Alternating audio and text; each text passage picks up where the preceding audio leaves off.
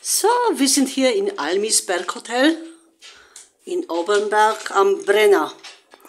Ich mag heuer nicht kochen zu Weihnachten und da haben wir beschlossen, eben, das bin ich, haben wir beschlossen, einfach irgendwo hinzureisen. Und wir sind jetzt, wie gesagt, in Obernberg am Brenner. Es liegt gleich in 40 Minuten Entfernung vom Innsbruck. Also wir haben wirklich nicht allzu lang zu fahren gehabt. Und das ist jetzt unser Zimmer. Das ist unser zweiter Aufenthalt in Obernberg am Bremer bei Almis. Sie kochen gut vegan und wir freuen uns jetzt auf vegane Weihnachten. Schauen wir mal, was sie uns auftischen. Wir wissen das ja gar nicht. Wir lassen uns einfach überraschen. Ich will ja gar nicht wissen, ich will mich überraschen lassen. So, also das Zimmer ist wirklich sehr nett. Neu eingerichtet. Und wir haben schon eine Terrasse. Jetzt gehen wir mal raus, schauen wir uns mal die Terrasse an. Ja, voll nett, gell? Schaut mal, es gibt sogar Schnee. Aber es hat heute, heute geregnet, ein bisschen. Jetzt regnet es zum Glück nicht mehr. Und die Malina tut alles auskundschaften. Jetzt ist sie gerade bei den Nachbarn. Wir teilen uns die Terrasse mit den Nachbarn, aber das tut nichts.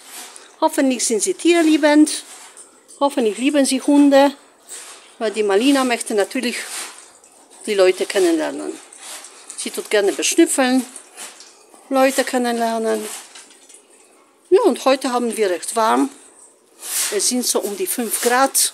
So, jetzt schauen wir mal, was wir da für Ausblick haben.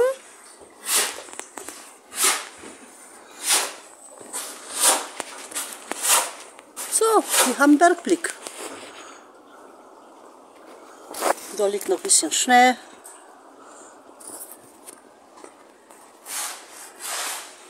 So, also wie gesagt, Obernberg am Brenner in Tirol. 40 Minuten vom Innsbruck entfernt. Das ist ein Familienhotel. Die Frau ist im Service. Also die Wirtin ist im Service. Und der Mann von ihr steht in der Küche. Er kocht. Sie haben auch Kinder. Die Kinder arbeiten im Familienbetrieb mit. Also es ist wirklich sehr netter Familienbetrieb in Tirol. Meine Empfehlung. Almis Berghotel in Obernberg am Brenner.